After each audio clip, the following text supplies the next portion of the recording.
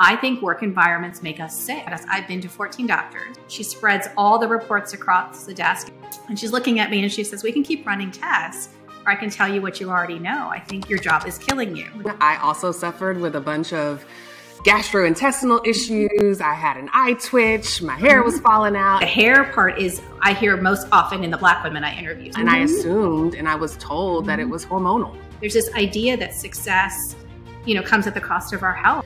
Where do you think people of color should put DEI within that list of factors they should be looking for with companies that they want to work for?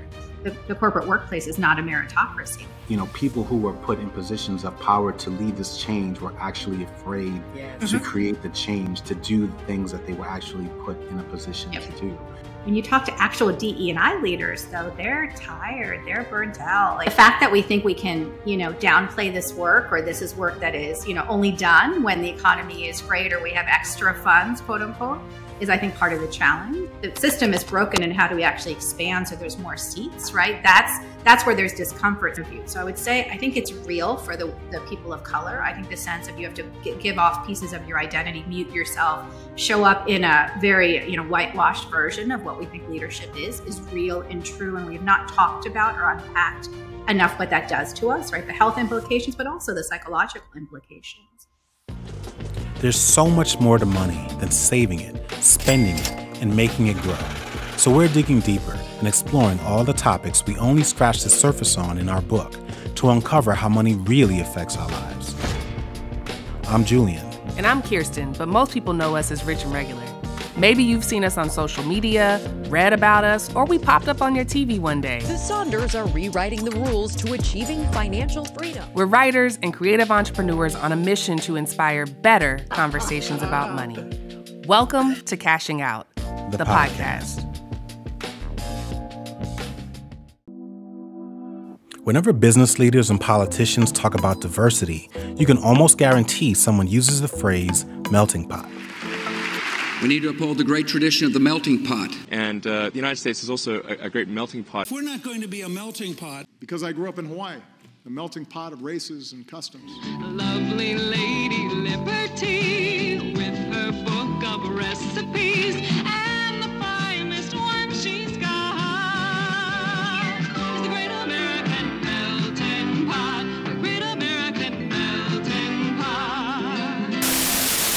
The idea implies when we're all blended and working together, we're all better off than when we're standing alone.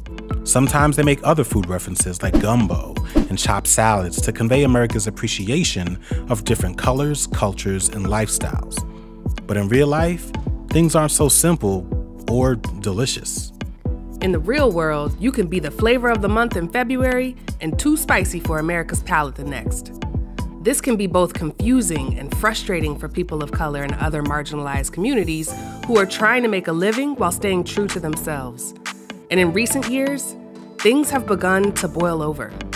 Who better to weigh in on this than Deepa Purushothaman, author of The First, The Few, The Only, and expert on diversity, equity, and inclusion. She's an advocate for women of color, speaker, executive fellow at Harvard Business School, and most importantly, a truth teller. And I want to start with an impossible question to answer, uh, which is I want you to predict the future. It's 2032, and we're looking at one of these recent reports about diversity in America, in corporate America. Uh, what do you want that headline to be? Mm. The headline I often talk about is that it's going to take us to 2050 to really see difference, right, in the ways mm. that we're talking about. Mm-hmm. So I'd love to see a headline that says by 2030, right? We're 20, 20 years ahead of where we expected to be. That would be, that would make me happy and make me feel good about this work. Um, you know, I, would like to get to a place where we've been through hard times and I think we're going to get harder on these topics before it gets better. And, and, you know, I'm not okay with that, but I also understand there's like an ebb and a flow and a, um, you know, like a, a process to this that I think some people don't think about when they think about this work. And so we're, we're really bringing people into the conversation at this stage of the game. So I think in, you know, by 2030, like I, I'm hoping everyone's in the conversation. I'm not, I'm not expecting everyone to be aligned, but we're just like beginning the conversation. So um, I, am hoping we're past the conflict phase, right, where it's as polarizing as it is now, um, and that we're having helpful conversations, right? Uh, especially in the workplace, because I I've probably been in 200 to 300 companies in the last eight months, and some of the conversations. I'm glad that they're doing it, right? And I and I do it. I say that that's progress sometimes when I talk, but at the same time, some of the conversations are very superficial, and some of the conversations are a lot more meaty, and people really want to do the work versus the checkbox. And so, mm. I'm hoping by 2030 we're past the checkbox, we're past the like what is unconscious bias, right? The three questions that we all get, you know, and that we're in a different place in this conversation because this work is hard. I mean, you all know it that. Um, it's full of shame and pain and history. And so I just, I'm hoping everyone's in a place where they understand why this work is that way and that we're having more in depth conversations. Yeah. Yeah. There were so many um, parallels, you know, obviously just in kind of preparing for this conversation between our book and your book, the topics that you were talking about. But even when I think about your your your TED talk, um, and mm-hmm. you opened it with like you know like some nerve wrecking words like Deepa. You know, your job is killing you. Mm-hmm. There are parallels there as well because mm-hmm. we had very similar experiences and struggles in our 30s. You know, in terms of not being able to cope with the stress and the strain mm-hmm. and the rigor of being, you know, road warriors mm-hmm. and then mm-hmm. transitioning from that to being parents. And we know so many of the people that are in our community that are uh, struggling with that as well. Why did you feel like wellness was such an important topic to cover, not just in your talk, but also yeah. in your book? It's interesting. This morning, someone was asking me that, and I realized I've done started to do more and more talks on burnout, right, and the health aspects, even though that's not what the book is about. I'm doing full talks on burnout, which I never expected to do, yeah. right? Um, I think it comes from my own story. So my own story of leaving come, came 21 years after being at Deloitte, being at one company. I had a, you know, what I call a magical career, right? I rose really quickly, had a lot of impact and my decision to leave was was two reasons. So one one was um, my original calling, which was politics and policy. Like that's what I went to school for. That's what I thought I'd be doing.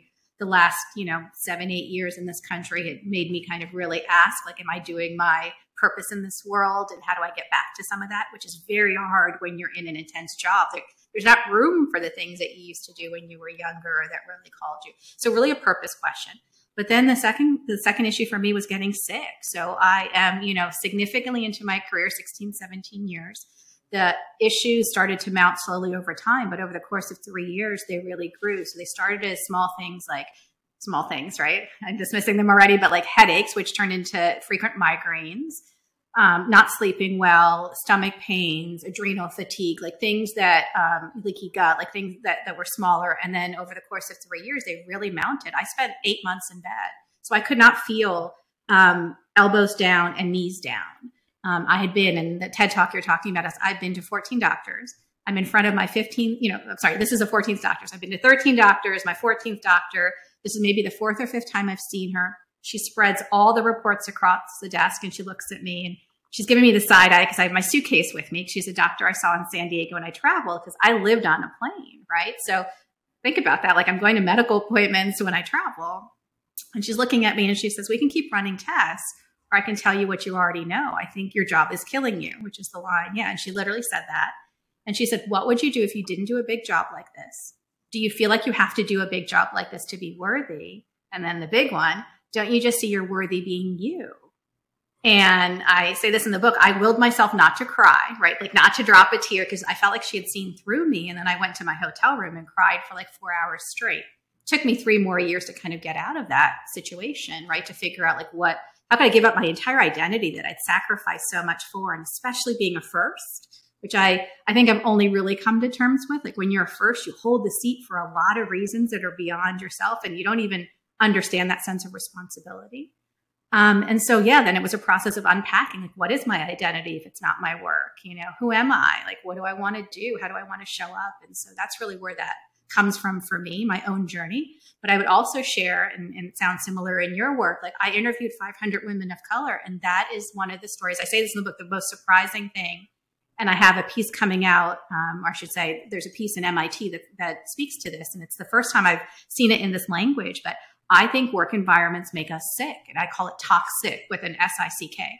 And um, I'm excited that they're they're putting attention in research, you know, uh, numbers and, and uh, attention around it because I think it's not a topic we talk about enough. We don't talk about how stress manifests in the body and certain ways of working and being and this focus on productivity that we have, especially in this country, um, really damages us. You know, yes, we're talking about well being and we've talked a lot about the emotional side, I think, during COVID.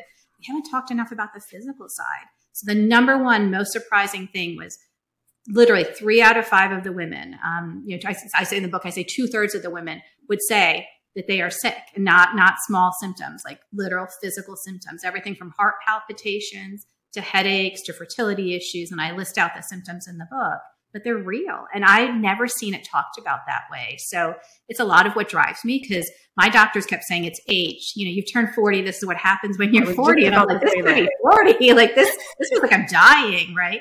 And mine was a late stage Lyme di- diagnosis. So I was really sick. I literally spent mm-hmm. three years trying to get well. But I'm surprised. Like when I share that story, the number of women of color, all kinds of women of color, coming up to me saying, that's my story too. And I've started to expand my work a little bit because I'm hearing that's true of women. Like almost all of the women come up afterwards, the white women too, and will say, that's my story too. Or as a mom, I'm juggling too many things and I've sacrificed my health. There's this idea that success you know, comes at the cost of our health. And that's part of what I really want my work to be in the future is to really rewrite that narrative. Diversity, equity, and inclusion. DEI. For some, the phrase gives them the warm and fuzzies as the holy grail of corporate ambition. For others, it's just the latest in corporate buzzwords used to give the impression that an organization is committed to doing good, all while their actions tell a different story. According to a McKinsey research study, when companies get DEI right, they outperform their competitors anywhere between 10 and 30%. So, why aren't more companies over investing to be the most diverse, equitable, and inclusive companies imaginable? Well, it ain't that simple. Benchmarks change, objectives widen, and budgets get stretched. And the people who are put in charge to lead the change get burnt out trying to achieve the impossible. If we're being honest, in our own lives, we felt burned by DEI work. We believed when they said change was coming, and we worked overtime to help make it happen, only for the result to be more of the same. So we wanted to know what Deepa saw, since she was at the forefront of this work and oftentimes in the room when tough decisions were being made. I love that because I, I, I relate to that so much. For so long, I also suffered with a bunch of gastrointestinal issues. I had an eye twitch. My hair was mm-hmm. falling out. And I mm-hmm. assumed and I was told that it mm-hmm. was hormonal, that it mm-hmm. was because of yep. age, that I was perimenopausal, that I yep. was all of these things. Yep. But no one ever questioned whether it was related to the environment that I was sitting in every day and uh-huh. that I uh-huh. was participating in the workplace. Yeah. I am curious. Sorry. No, go ahead. No, I was going to say, and the stress of it. And I would tell you the hair part is, I hear most often in the black women I interview. So the hair falling out is like a common, yeah, um, particularly in the black community. So. Yeah, it's it's real. I, I know you've been in, uh, like you mentioned, a couple of hundred companies recently. Mm-hmm. I'm curious on how DEI leaders are interpreting this message. Mm-hmm. Are you finding that most of them are open to it? Or are you still finding resistance because it seems counter to the narrative that they're trying to to push? Yeah, it's a complicated answer. I would say when I first started, I think there was universal like interest and acceptance. I mean, if you're going to have me come in, I think you're more open than you know, there's a lot of companies that aren't having folks like us come in, right? So right. I think you're open. I think there might have been more hesitation amongst certain seats, like certain roles or certain people or certain backgrounds. But in general, I was surprised at how warm a welcome it was. I was surprised about how warm and welcoming the white male executives were in particular. Because I expect, I wrote the book for women of color. I don't do a lot of translation in the book. Like I don't say this is what this means. I just write it. And in the first couple weeks, I was really confused. And I, I side note, I'm curious if you've gone through this too, but like I had to do a lot of translation because I wrote the book for women of color. In the first three to four weeks, it was all white men picking up the book white male leaders saying, I want to do better, but I can't ask people like you anymore because I'm going to be told I got to go educate myself, but I don't know where to go. So that curiosity actually gets me excited, like makes me feel like there's optimism in this work. When you talk to actual DE and I leaders, though, they're tired, they're burnt out. Like they, you know, they don't have the resources they were promised, they don't have the seat they were promised, the access. Like, so I feel like more of them are jaded than ever before. Um, I feel like employees are probably a little bit more jaded when you look at like trust scores and things like that that came out this summer. Edelman did a big research project. And yeah, so I think in general, people are skeptical, but I would tell you the segment that I thought would be the most skeptical has not shown up skeptically for me. Um, I think there's still some fear that seats are going to folks that look like you and I and being taken from them. And so I always try to like that's the big thing that I think we have to do in DE and I spaces. Like, is that's not the work. The work is not redistribution. The work is like the system is broken and how do we actually expand so there's more seats? And I think anytime you get into a seat's being taken from a white man and given to one of us, right? That's that's where there's discomfort. So I just talk about that openly and there seems to be acceptance around that. You know, I, I don't know what happens after I leave, but so far, so far, so good. Yeah. That is so validating. So I know. Thank, thank I'm over here like, yes, exactly. yeah, because that that is 100% been our experience, okay. and, and, awesome. and, honestly, um, I can tell you as as authors, it was it was quite frustrating because uh, we have relationships with black executives, DEI mm-hmm. leaders, mm-hmm. and many of them were not nearly as supportive yeah. or vocal uh, in support of the book and the yeah. message. And it felt awkward for us because we yeah. didn't want to make it seem as if, hey, like you're a friend, throw me a bone.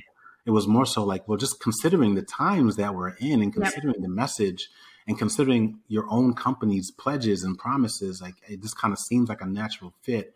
Yeah. But there was not nearly as much support from our black peers and black yeah. professionals in the early stages as compared to many yeah. of our white peers. They, yep. I think, realize that actually it, it's on us, right? And so I do kind of see that as a sign of progress.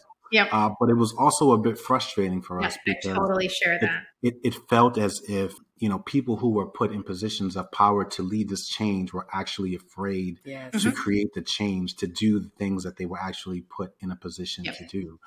Um, and so, with that said, you know, kind of thinking about that as a former senior level executive, to what extent do you empathize really with your your peers, your peer group, right? I mean, because we know being a senior leader is difficult. It's, you've got a laundry list of impossible tasks. Things are moving fast. You've got shrinking budgets, and you know, like to what extent do you understand, and what do you think? Yeah. I think people who are, um, uh, I guess, employees or you know, aspiring to work for companies, what do you think that they don't understand about how difficult and challenging uh, those roles or, or that work is?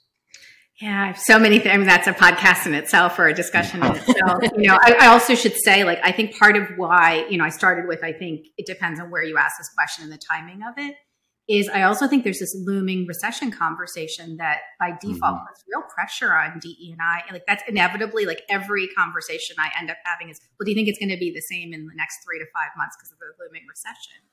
Um, the fact that we think we can, you know, downplay this work or this is work that is, you know, only done when the economy is great or we have extra funds, quote unquote, is I think part of the challenge, right? Is a real issue. I think for leaders, like the challenge is, and I talk about this quite a bit in my own work, is that there's a pressure to conform as you rise. And I found this for the women of color too, right? The research, the reason I did the book was there was a senior woman of color in one of the first dinners that I did with my now business partner, but she was sitting there as we were just we didn't know we were going to do a project. I didn't know I was going to do a book. We were just kind of talking. And she said, she's a public company CFO, a black woman. And she said, I sit in a seat of power, or I sat in a seat of power because she was, she was close to retirement. And I don't feel powerful. Mm. And I kept hearing that over and over and over again from the women that I interviewed. So I would say I think it's real for the, the people of color. I think the sense of you have to give off pieces of your identity, mute yourself, show up in a very you know whitewashed version of what we think leadership is, is real and true. And we have not talked about or unpacked enough what that does to us, right? The health implications, but also the psychological implications. But I think for leaders who are not that, I think one, it's hard to understand. I think it's hard to manage. And I also think COVID has brought all these issues that we didn't fully understand. And a lot of leaders we have in place are great at P&L management, but they're not culture leaders. And I think what we're seeing in 2023 and beyond is that leaders like culture is core to like how you run companies and success in a different way that we ever understood even like 2 years ago, even a year ago. I think it's front and center and if you don't know how to do that, everything else falls away, but we're still catching up a little bit to that message, right? And employees who see that, employees are making choices on where to work and how long they stay based, yes, on what leaders say, but what companies do. Like there's a lot more transparency, a lot more honesty, and a lot more walking with your feet than I think I ever saw, right, growing up in, in, in companies or, or being in corporate America. I think it's really changed. I think it's only going to continue to change. Yeah, I, I think that's, uh, it leads me to my, my next question, which is there's a long list of factors that people consider when they're thinking about places to work. And mm-hmm. I agree with you, culture is at the top of that list. Mm-hmm. But given how long we have to wait for progress in the DEI space, where do you think people of color should put DEI efforts or enthusiasm or focus within that list of factors they should be looking for with with companies that they want to work for? Yeah, I mean, I think it should be there, but I think that that statement alone like means so many different things to different people. So I almost feel like, you know, that success can mean leadership at the top. Like, it does the leadership team look like the rest of society? It can mean advancement and promotion. It can mean hiring numbers. So I just think saying that they, people, companies do, do good on DE&I doesn't say enough. Like I think we have to get more specific. So yes, I think it's important, but like it's almost like the the truth is in the details. I think it's more important to actually call people, and I tell the women I work with now to do this. I call you know black women at at you know wherever you want to go, even if you don't know them, and just ask what it's like because I think there is a different experience on what the numbers and the checkbox and the outward experience and what people are really feeling inside. And I wouldn't take one person's view. I would call, you know, three to five people and see how universal is. Call people in the department you're going to.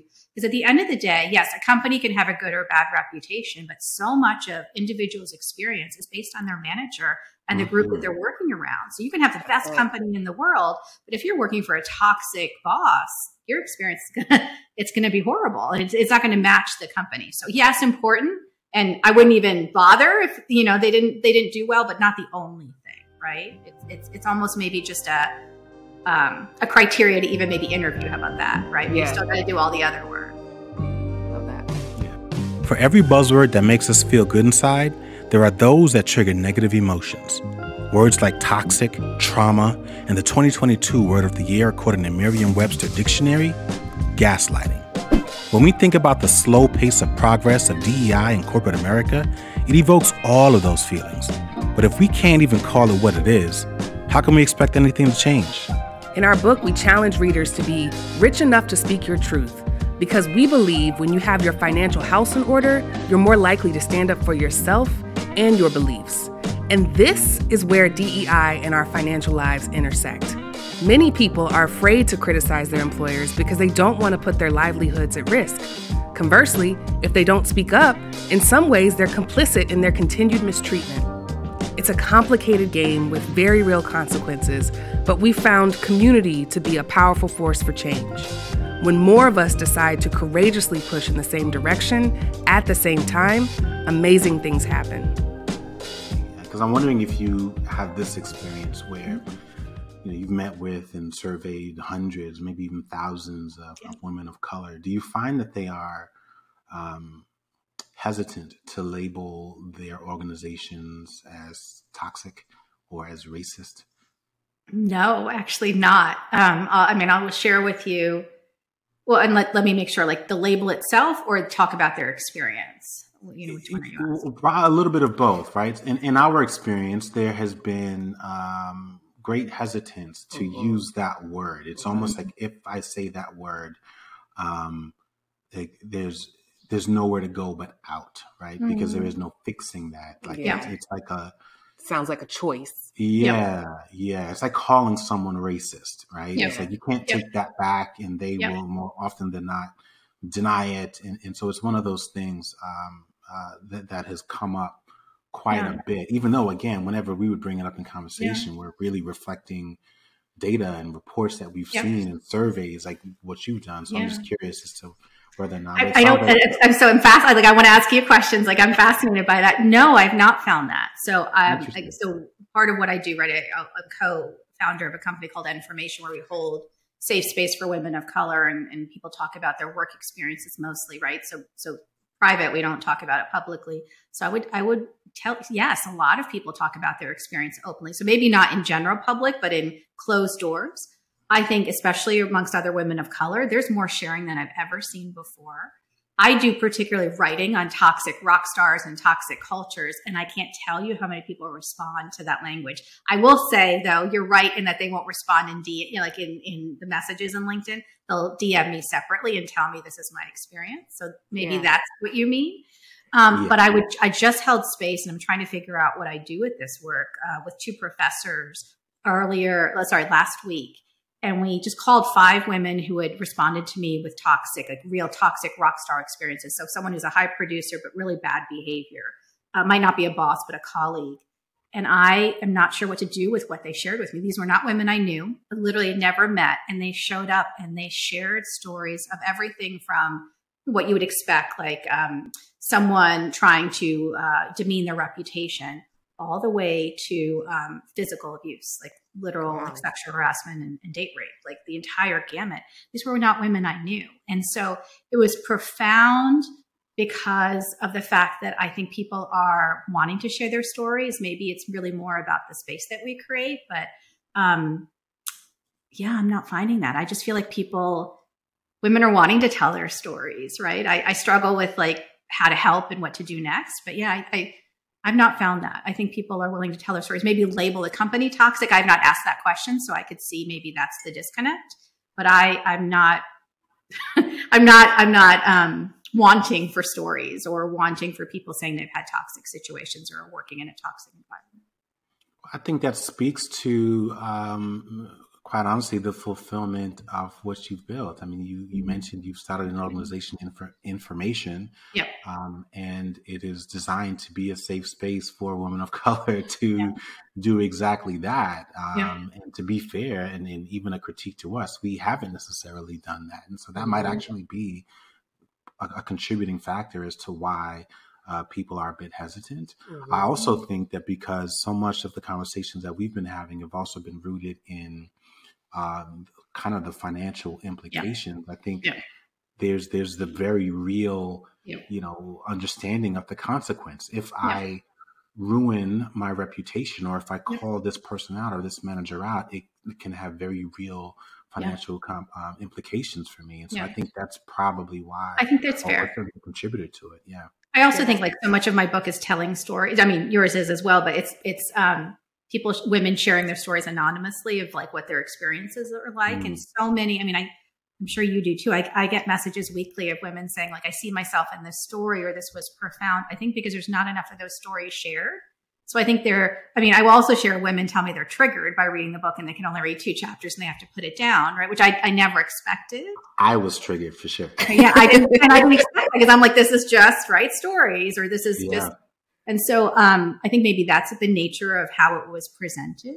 I think maybe just um, it's calling for that, and I also say that my work in the world is making women realize being seen and heard, which I think is a lot of what we all do, but is also that their experiences are not unique to them, like not in a bad way, but that there is a universal experience for many of us that is not being talked about in a systemic issue. So it could be the framing. I agree.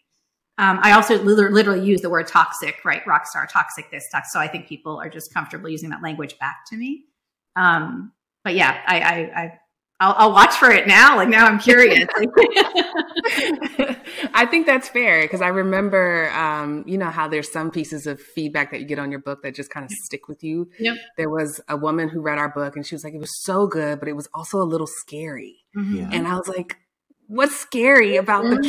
truth? like these mm-hmm. are, this is what's happening in the workplace that you go into. Mm-hmm. But I think it is a combination of everything that you're saying on top of socialize and conditioning to think that toxicity is the norm and Yeah. that if you complain, you're just not cut out for it. Yeah. Yep. And it's almost this process of teaching people like there's a word for that.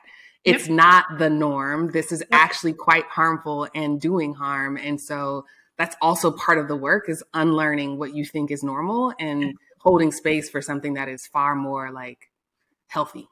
Correct. No, I love that. And that's why I felt like the work was aligned for sure. Yeah. Yeah. I mean, and again, I think it's partly that I've done probably three articles, even in places like HBR, using the word toxic. So, yeah, I think Mm, it's just a word that I use. And so people come back to me with. But yeah, I, I agree with you. I also think it's a very recent conversation, you know, and It we were talking about, you know, our process in writing. I sold my book six weeks after George Floyd's murder, right? Like, so Mm. it was so brand new, like the conversation about race at work, right? Up till then, you know, I felt like I was going to go into companies and people were going to say it's a meritocracy, right? Like, if you just do hard work, it's going to be okay. And my first sentence, like, my big message is the, the corporate workplace is not a meritocracy. Like, the system shows up differently for different groups. And I thought I was going to be booed and, right, no one's going to pay me to say that. I say that people now kind of shake their head. I mean, I need to explain, right, so people understand what what I mean by that and unpack that. But I'm surprised, and so um, yeah, I think I think the conversation is also really evolving in these, you know, and we're writing as it's changing. That was actually my biggest fear. I was going to use words that weren't relevant anymore. So it's been in those ways surprising, but no, I'm I'm I feel like more women of color are willing to and want to tell their story than ever before. Again, maybe not on public platforms. Like, so I, we did, we did an Instagram. We tried to like start a movement where people were sharing their stories on Instagram with avatars and no one wanted to do that. But privately, people are sharing their stories. So There were so many parallels between Deepa's book and ours. Maybe it was the timing in which they were published during the so called racial reckoning. Maybe it was because both were written from the perspective of people of color. Or maybe it was because both books shared a similar setting corporate America. However, you look at it, both bodies of work come to similar conclusions, which is that something has to change.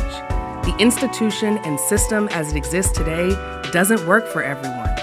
Work culture as it exists today is unsustainable and unhealthy. And DEI, though important and needed, isn't going to magically fix everything. So we have to find ways to continually welcome critique so we can improve outcomes for everyone. Or we can continue to believe in the fairy tale of meritocracy, which is flat out delusional. Going back to just so many of the parallels, which is like my neck hurts from nodding my head from reading your books. I was like, gosh, yes, yes. Um, but in our book, we we we say something to the effect of um, the true cost of being the first is being Mm. the only. Mhm. Uh, and the literal title of your book is the Mhm. first, the few, the Mhm. only. So I'm wondering if you could just talk to me a little bit about how you landed to that title and a little bit about your personal experience with Yeah. being the only. Yeah. Um, so I landed on it because, so let me back up and explain. So here I am at this point, you know, 16 years into my corporate career, maybe, you know, 17 years.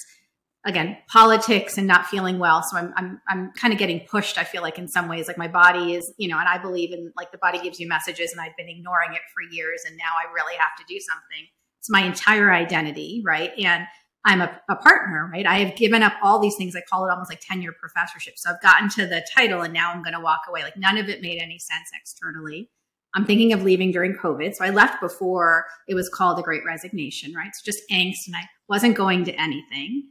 Um, so in an attempt to figure out like what to do and where I wanted to go, I started gathering women of color. It started one on one, you know, and I tell the story a little bit in the book, and it was just kind of over dinner, over lunch.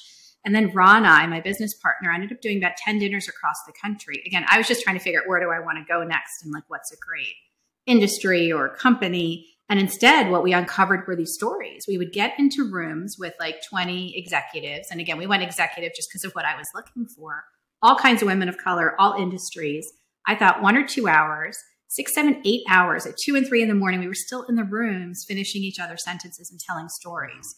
So from that came this idea that there's something unique about the experience about being a first, a few, or an only.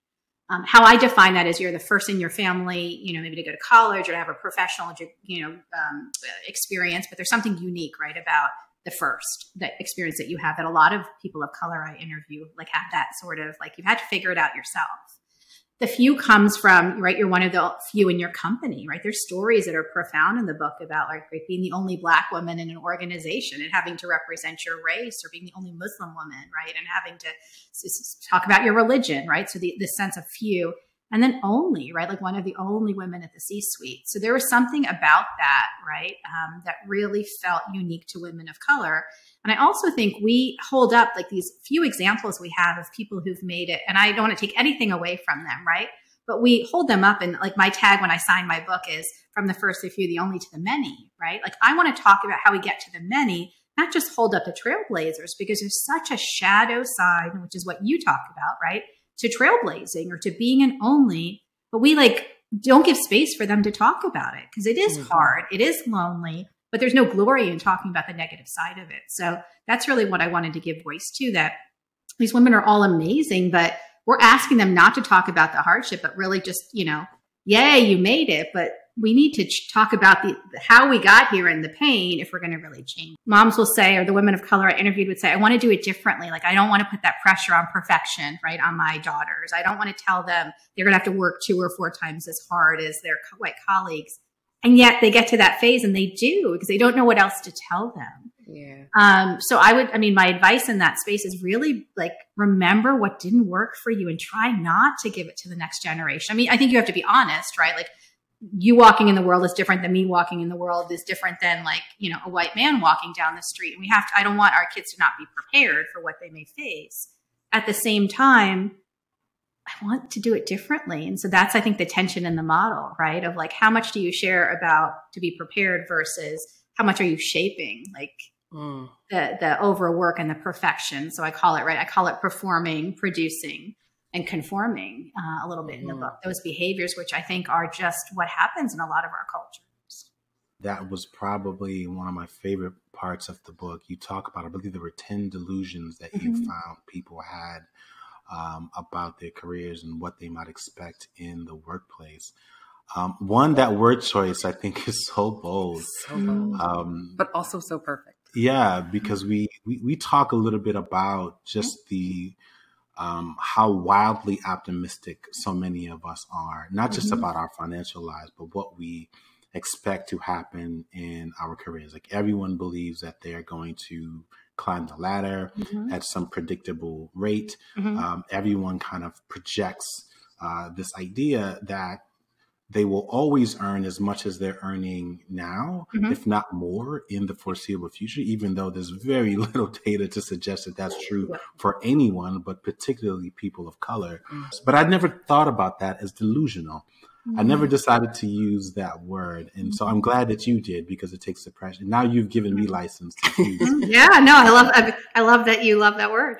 Yeah, yeah. I would love for you to just talk about why you chose that word and some of the most important, I guess, delusions that you think yeah. uh, many of us are experiencing as we're thinking about our careers.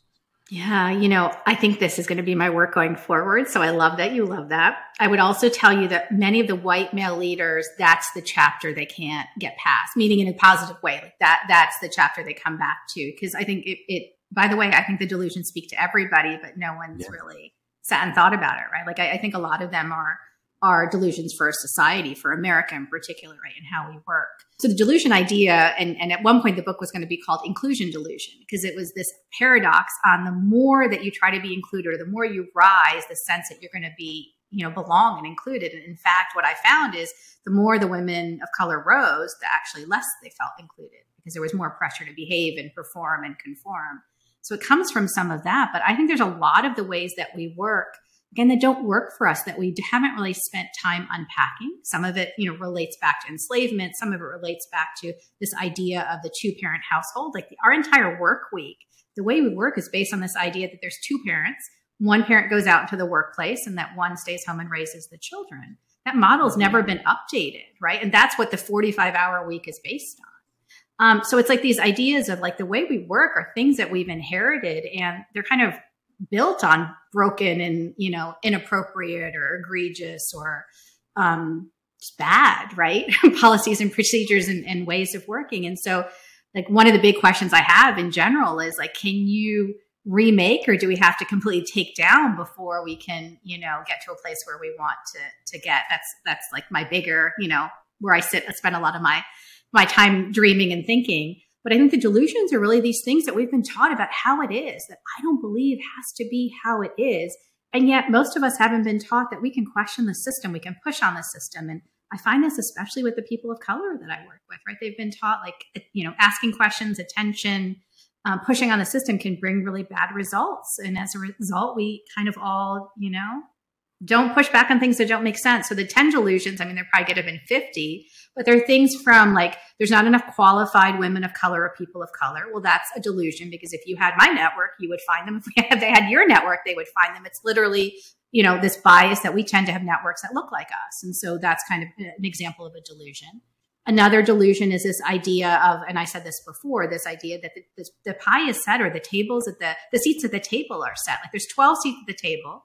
So if I'm up for a board position or a C level position, I'm going to take it from somebody else because it has to go to a woman of color or a woman. So that, that why I call it in a delusion of, you know, I got white man, like this idea that we're taking and redistributing is another one, right?